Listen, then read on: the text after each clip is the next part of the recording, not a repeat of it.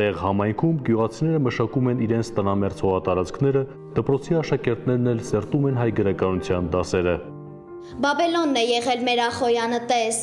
անհետ կորել անցել է չար մշուշի պես։ Այս երեխաներից շատերի ծնողները առաջնագծում են։ Զենքը ձեռքին օր ու գիշեր պաշտպանում են իրենց ընտանիքների անդորը։ Այդ ամեն ինչ անում են մեր գյուղի համար։ Մեր խաղաղության համար են անում այդ ամեն ինչը։ Պիտի կյանքը բնականon հնով շարունակի ցույց ճշնամու, որ մենք կանք, ապրում ենք եւ ապրելու ենք մեր հողում եւ մենք տերն ենք մեր հողի։ Ոչինչ չի կարող խաթարել հայրենի հողի վրա ապրելու, հարկյաց դեպքում էլ այն պաշտպանելու սյունեցու վճռականությունը։ Նկատում է ուսուցչուհի Լիաննա Սարգսյանն ու հավելում. մեկ անգամ չէ որ համոզվել է, տեղ գյուղում հասակ առած երեխաների համար հայնասիրությունը լոկ խոսք չէ պատերազմից հետո երբ որ իմ ընտանիքում էլ կորուստ եղավ, դասարան մտա ու երեխաները բոլորը վախենում էին իմ դեմքին նայել, շփտուն շարունակեցի դասը, որ ցույց տայի մեր մեջ ոչինչ չի փոխել, ընդհակառակը մենք ավելի զորեղացել ենք գյուղացին պին կաղնածա ու ամեն վարկյան կաղնածա մեր զինվորի կողքին։ Տեղ խոշորացված համայնքը պատրաստ է դիմակայելու ցանկացած փորձության։ Հավաստում է վերջինիս ղեկավար Դավիթ Ղուլունցն ու որպես իր խոսքերի հավաստիկ նշում. շուրջ 1 տարի է ինչ գյուղացիները աշխարհազորային ստորաբաժանման կազմում բանակի զինծառայողների հետ ուսուսի կանգնած են հակառակորդին դեմ հանդիման։ Գյուղացին պին կաղնածա ու ամեն վարկյան կաղնածա մեր զինվորի կողքին, մեր սանցի հողը պաշտպանելու համար երեխաներից մեկը ծառայում է այս մասում։ Տիկին Հասմիկը հպարտությամբ նկատում է իր երկու որդիները այս պահին մարտական հերթապահություն են իրականացնում աշխարազորի կազմում։ Տեքորս երեխեքը կանգնած են, հարևանիս երեխեքը կանգնած են։ Սա ամբողջ գյուղու պայքարում է։ Շարունակելով խոսքը, 4 զավակի մայրն ասում է. այս ամենը տեսել ու զգացել են նաև 30 տարի առաջ, հաղթահարել են դժվարություններն ու քայլել առաջ նույն կերպ են վարվելու նաև այս անգամ։ 92 թվին իմ տունը լրիվ ավիրվել է, բայց ես էլի որպես տան մայր ես իմ 4 երեխաների հետ իմ տունը չեմ լքել։ Տեղ գյուղացին չի վախենում ոչ մի բանից։ Սյունա ժարերի նման մեր երեխեքը, մեր ժողովուրդը կպած են իրանց հողին ու մենք այնքան ենք մեր հայրենիք սիրում, որ նույնիսկ մենք ես ծնող լինելով ամուսին չունեմ, ամուսինս մահացած է։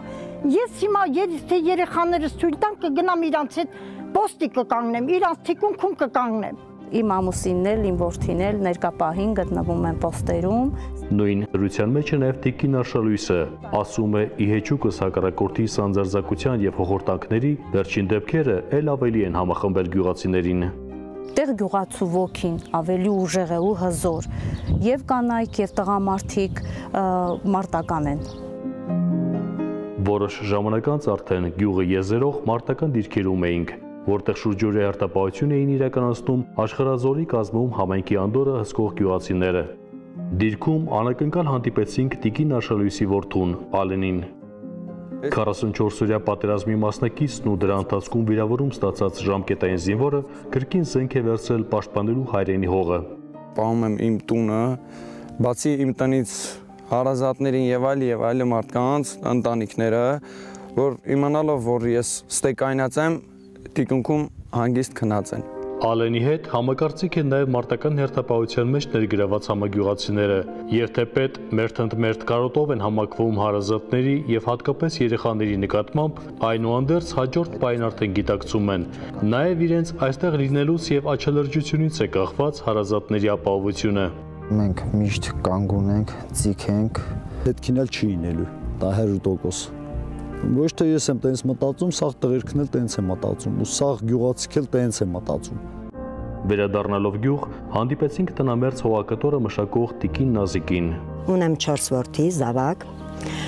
4-ից 3-ը այս պահին գտնվում են տեղ համայնքի առաջնագծում։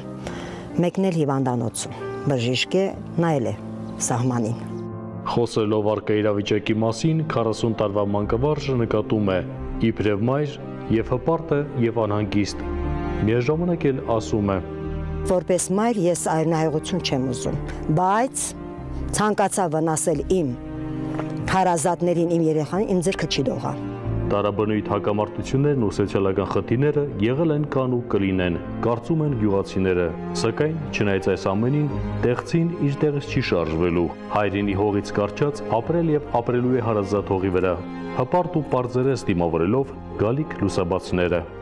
Մեզ ամեն ինչը բանդացում է եւ օքե տարի։ Նայ երեխաները ստեղ, եթե վախ են, բանին հիմի երեխեք ստեղ չեն լինի իրենց համար իրենց առօրյա կյանքով խաղում են, ապրում են, նույն ձևը գյուղացի։ Իր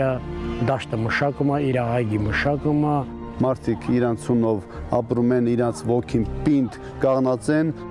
մեռնենք էլ ասեմ, ստեղ ենք մեռնելու, ապրում ենք, ստեղ ենք մեռնելու մեր հողը, մեր հողի համար, մի սանտիմետր հողի համար։ Ներսես Իվանյան, Ռազմիկ Տիգրանյան, Զինուշ